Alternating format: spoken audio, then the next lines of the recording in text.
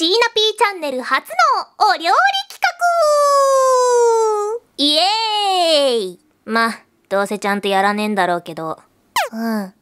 図星か。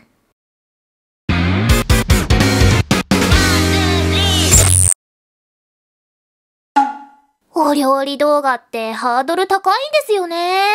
キッチンきれいにしなきゃいけないし、レシピちゃんと記憶しなきゃいけないし。なんかおしゃれなキッチン用具しか使えねえし、調味料をわざわざガラスのちっちゃい器に盛らなきゃいけねえしな。そうなんですよ映えを意識すると洗い物が増えるんです調味料なんてボトルから直で目分量で入れるのが普通じゃないですかああ。料理ベタはそうやって味付けをミスるんだよ。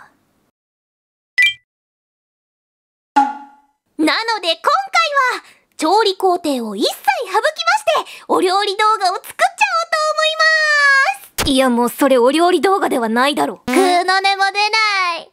でも、今までと違って、ちゃんと最初に説明しただけで偉いでしょ？サムネとタイトルで、すでに多くのひよこ軍を釣り上げた感あるけどな。そろそろタイトルに墨かっこ詐欺とかつけねえと怒られっぞ。検討しまーす。ねえ。で、調理工程なしだってんなら何すんだよ。最近流行りのクイズですクイズクイズ？題して、夏川この食材で何作るんでしょう？おー。料理に使った材料をお見せするので、それで何を作ったのか当ててくださいほうむ。シンプルだし、思ったより面白そうじゃねえか。では、早速、第1問。え、これだけ?制限時間は30秒です。え、ち、材料って全部映るもんだと思ってたけど、1個だけなのか ?1 問目からかなりの難問じゃねえか。白菜を使う料理で、夏川でも作れるようなもんだろ。えっと、えっと、豚バラ白菜のミルフィーユ鍋。うーん、確かに夏川の好物ですけど、残念。くそー。正解はこちら。ぬか漬け。ぬか漬け。いや、わかるか。えー、そうですか。白菜しか使わない料理なんて、ぬか漬けしかありえないでしょう。くっそよし、次の問題だ。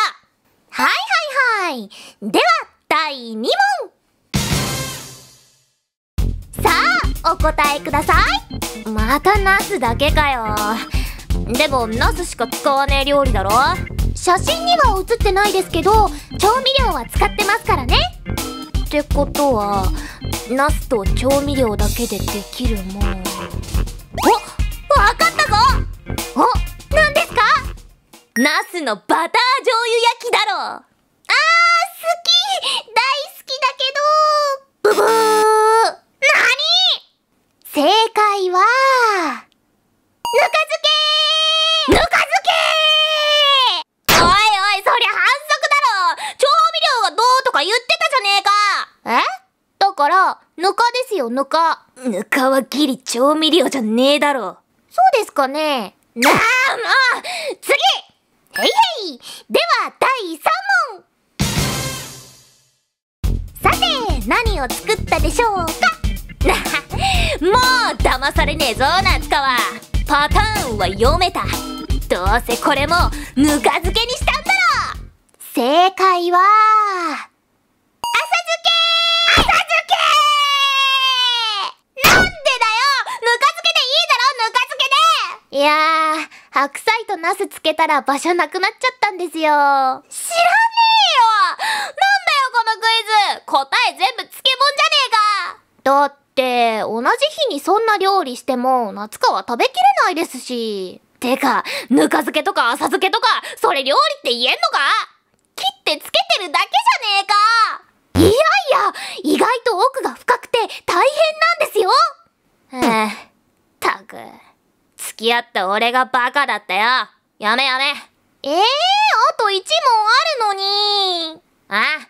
どうせ答えはぬか漬けだろ。それは、やってみなきゃわかんないなち、なんだよ。早く出せやいはーい。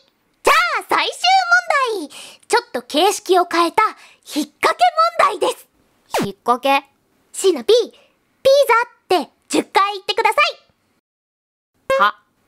ら、早く早くピ、ピザ、ピ、ピザ、ピザ、ピザ、ピザ、ピザ、ピザ、ピザ、ピザ、ピザ、ピザ。今、夏川が食べたいものは？その瞬間、シーナピーの脳は驚異的なスピードで回転を始めたは、意味わかんねえよ。どうしちまったんだ、夏川。いや、考えろ。考えるんだ、俺。引っ掛け問題って言ってたよな。ってことは、これはあいつが俺に仕掛けてきた心理戦。しかし、あまりに露骨すぎる。そして純粋に意味がわからねえ。あいつは、俺に何と言ってほしいんだ。ピザか。ピザなのか。だとしたら、答えは他のところにある。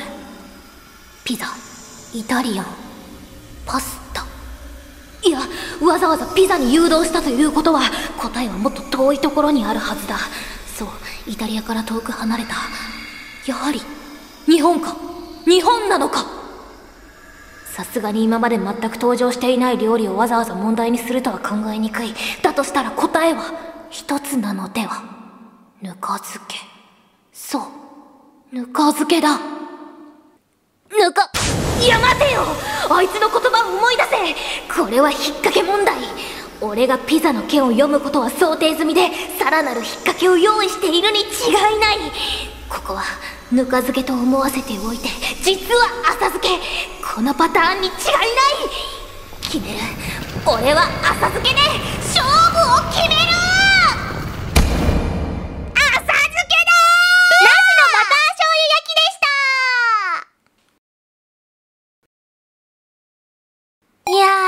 ぬか漬けに使う予定だったナスが余っちゃって、どうしようかなと思ってたんですけど、シーナピーがバター醤油焼きとか言うから、今晩のメニュー大決定っすよ。あれ？